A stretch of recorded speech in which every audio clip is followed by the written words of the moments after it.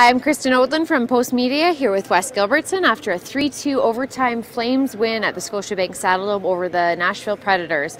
Uh, it didn't always look that way. Johnny Gaudreau had two goals right at the beginning of the game, uh, and the Flames kind of rode that right until uh, the third period when Nashville finally decided to show up.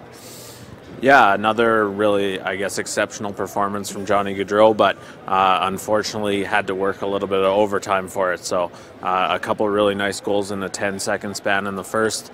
Uh, Flames looked pretty good for most of the night. Just a couple mistakes to let Nashville back into it, but again, Gaudreau, great setup. Uh, Mikael Backlund with the game winner. So everyone goes home happy. And with his two goals tonight and assist, he moved into the NHL's leader in home points, passing Patrick Kane. So it was a really nice night for Johnny Gaudreau. He loves playing at the Scotiabank Saddledome. He likes the fans, he likes the city, he likes the, the way that they react, um, and just enjoys playing here, and it shows in his points. Yeah, it's pretty wild to look and see his name now above Patrick Kane, just above Sidney Crosby. You know, more points at home than anyone in the league. So um, he keeps telling us he likes playing here, and he keeps proving it as well.